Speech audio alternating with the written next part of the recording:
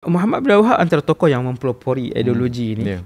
seperti yang terdapat dalam banyak buku Betul. oleh para ulama kita sekarang Hmm. tulis dan beliau juga dijadikan sandaran banyak kumpulan pengganas Betul. di seluruh dunia Hmm. hari ini. Ap, apakah benar kenyataan beliau terkesan dengan banyak Hmm. fatwa-fatwa Ya. Ibn Taymiyah? Ya, Doktor? ya. Ah, betul. Sedikit ulasan. Boleh, boleh. Memang kalau kita kaji golongan-golongan ekstremisme ni, hmm. dia memang akan kembali kepada uh, saya panggil uh, neo ter, uh, neo neo wahabism ataupun neo teroris di, eh, seperti kumpulan Al-Qaeda, Boko Haram, Ansaruddin, mm-hmm. Syabab dan sebagainya, ISIS dan sebagainya. Mm-hmm. Banyak nama ni memang mereka terpengaruh uh, dengan golongan uh, wahabism. Mhm. Okey, Wahabism pula kita pun tahu mereka uh, ataupun pengasasnya Muhammad bin Abdul Wahab memang dia banyak terpengaruh dengan fahaman Ibn Taymiyah.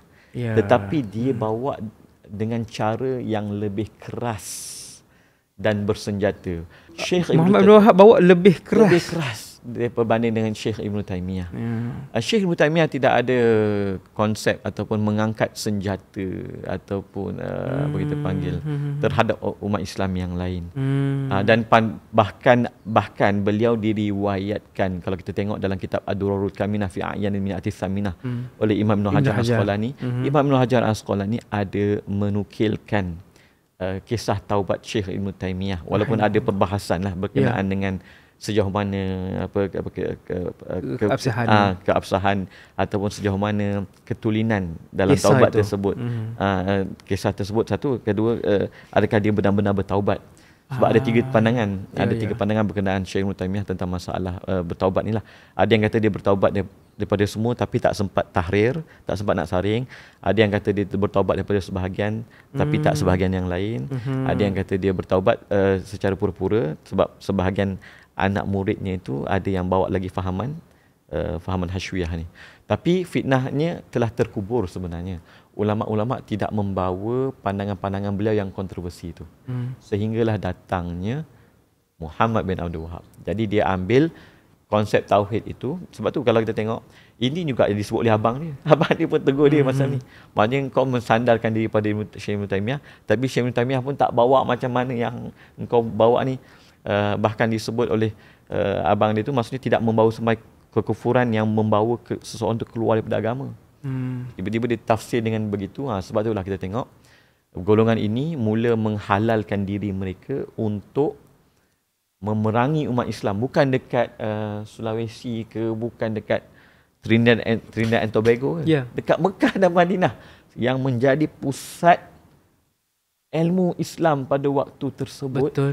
Dikatakan telah kembali kepada syirik dan penyembahan berhala, penyembahan pokok, penyembahan batu dan sebagainya.